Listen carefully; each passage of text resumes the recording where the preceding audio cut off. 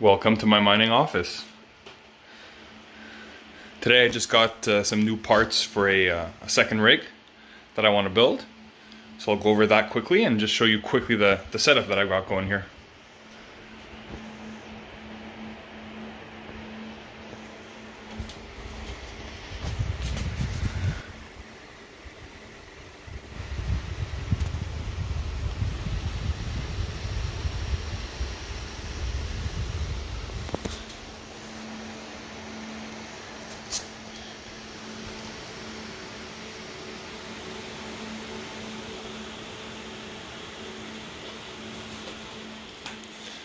And this is where the second rig will be going. Um, I only have five cards in there right now because I, I, just sold off one of them actually. Um, and uh, and this is the new parts for the build we're going to be doing today. So I just thought I'd I'd show people basically the bare minimum it takes to have a decent running rig, I guess, for six cards. And uh, and quickly show how to build this. First, I'll go over all the uh, all the parts quickly, how much I paid for them, and basically why I chose them. Uh, first part here is uh, the Z390A Pro uh, MSI motherboard.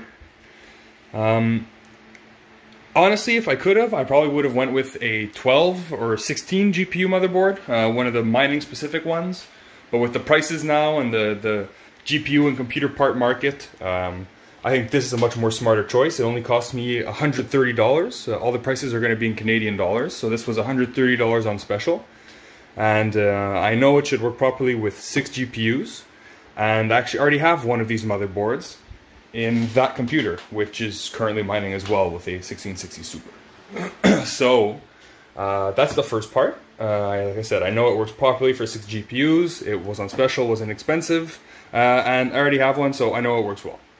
Second part here is a uh, Intel Celeron uh, G4930 LGA1151 socket. Um, the reason why I chose this, uh, it's not a very powerful CPU, um, but it was only $60 uh, Canadian, again, plus tax. So, again, it's the bare minimum to get the job done. Your CPU, or you're not really using it when you're uh, GPU mining, and I don't plan on CPU mining with this specific rig. So, I went for the most cost-efficient option. Um, this is just a USB with Windows on it. Um, I'll probably just start off with Windows, maybe go to Hive OS later. Um, and the last piece I actually had to purchase was this M.2 uh, SSD. So the reason I went with the M.2 SSD um, versus, you know, just a normal SATA SSD is because I kind of wanted to save the power and, you know, data cable that actually have to go to a physical uh, SATA SSD.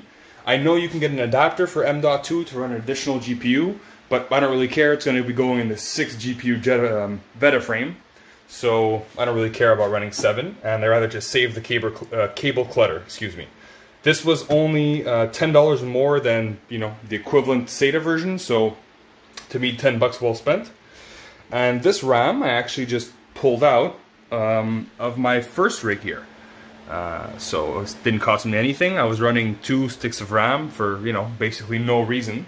So I'm reusing this part, and that's it. Um, now, obviously I'm missing something, that's the power supply. And that is something, again, I'm reusing, but from an extremely old build of, uh, of mine that I've disassembled since. Uh, it's a Antec True Power 850 watt, uh, semi-modular. Uh, I have only, you know, a few of the additional cables attached, but it is semi-modular. Um, it's bronze rated, so it's not the best power, uh, power supply in the world, but it works well. It's worked for me for a very long time. So might as well reuse uh, stuff you have instead of spending money on, on new things if you don't need it. And that is the old, old setup it was attached to. Uh, that is not really reusable. I could run three GPUs off this maybe, but eh, we'll see. So this will be the power supply and that's all we'll need. Uh, we have some risers also, some splitters, uh, but with no GPUs to put in there now, those won't quite be useful, so we'll get to that some other time. Okay, so I forgot to go over this, but just in case anybody's interested, the cards that are currently in, in this rig, uh, this is a Gigabyte 1060, obviously 6 gigabyte, everything is mining Ethereum.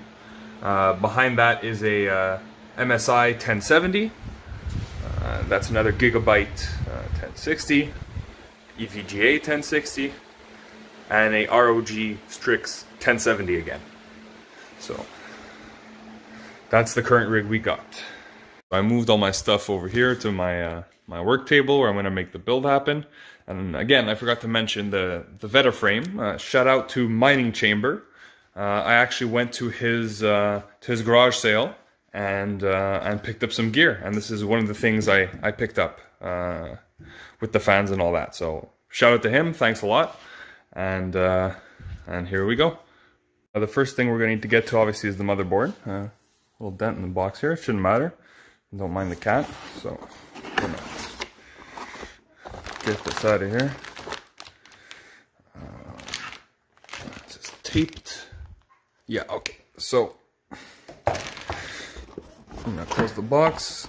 Two seconds to open up the motherboard, and uh, we'll get onto that in the CPU. I got the motherboard out here, and also opened up the CPU.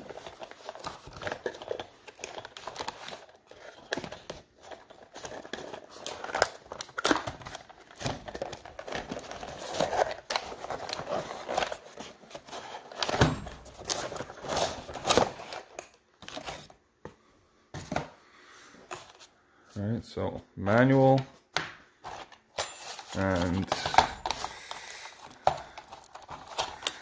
here's our CPU and the fan.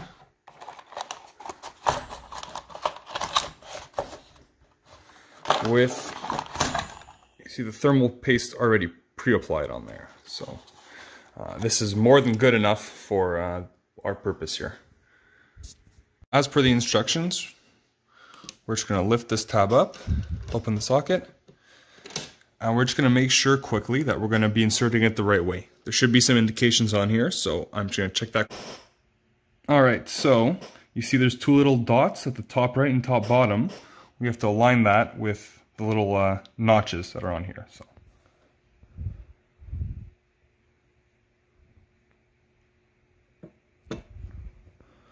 Oh, see? Gently just set that in there. No pressure on the CPU at all. Alright. Make sure it's properly seated. And now we're good to, uh, to go ahead and close this, right? Sure it's closed. And then we're just going to pull the latch, right, underneath. And the little black thing will pop out. Got that thing out of the way, uh, and that's what it looks like. So you just clip it back in, uh, and that's it. Nothing really that complicated. So now we're off to the CPU cooler, which you see has uh, four little pins here, which are going to go into the four holes that you see there, right? Out there and Okay, so I just put the heatsink on there. I didn't press any of the pins in yet. And I just unclipped here this because it's a little tight to get to the uh, CPU1 fan. So, we're gonna plug that in. And now, make sure this guy is well centered. And press down on the pins.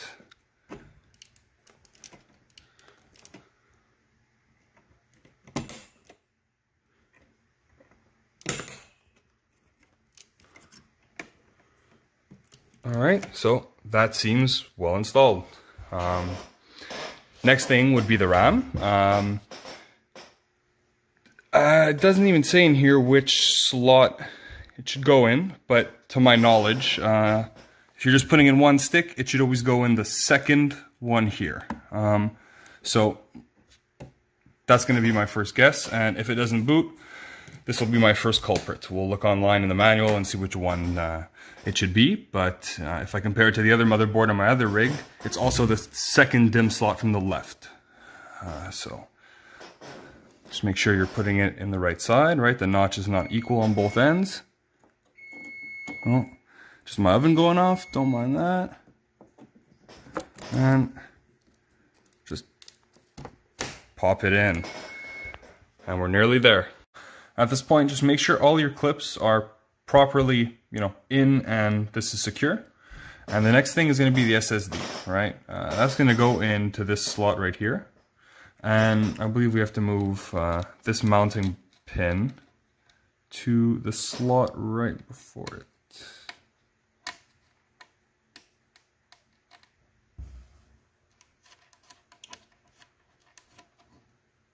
All right, and uh, now we'll get this SSD out of the packaging and that'll be our next step uh, to getting this ready to go. Got the stuff open. Uh, this comes with the motherboard. That's the only piece actually I have to go get in the box. It's a little uh, screw for the standoff here. And I opened up uh, the SSD. So if you don't know, this goes in on an angle into that slot. You push down on the side, right, and insert the screw. So here we go, everything's screwed in. I have uh, the power button plugged in to where I think I should go. And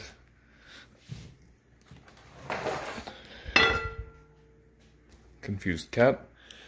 Next step is going to be putting in this power supply. Um, I'm going to admit to you, I was a bit mystified on which way this should go because this way it blocks two USB ports. And if I would have put it the other way, sure it would have came out here, but then the motherboard cable would have to go in right here, which seems kind of impractical considering this mount is here, so. I might have it the wrong way. I plugged in the wires for the PSU into the motherboard and put the rig back in our trusty uh, little Amazon rack here.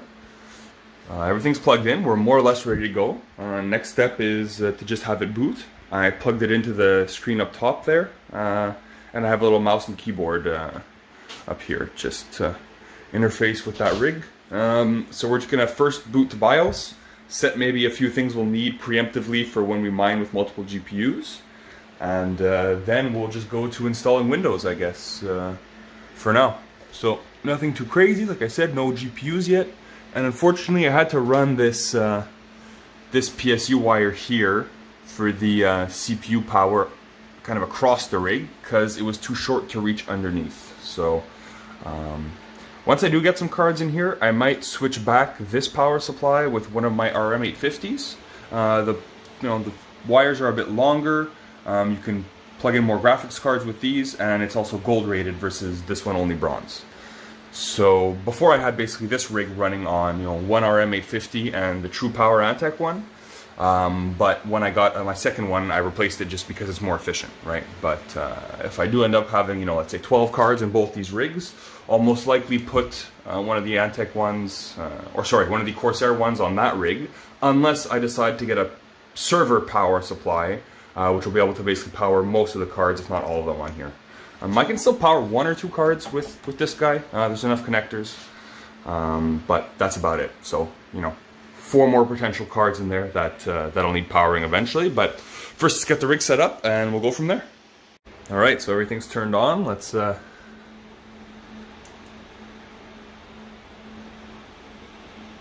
switch it on see what it gives.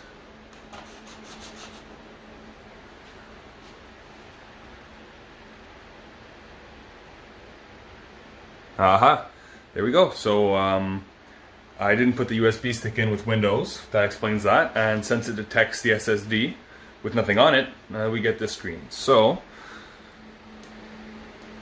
let me go and reboot it, and uh, we'll try and get into the BIOS this time. Off.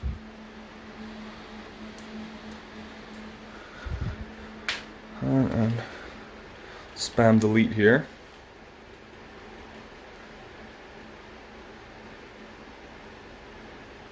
And there we go, we're into the BIOS. So from here I'm going to configure a few things. I'm going to go through, just check it out, and uh, I will check back with uh, certain settings you might want to set.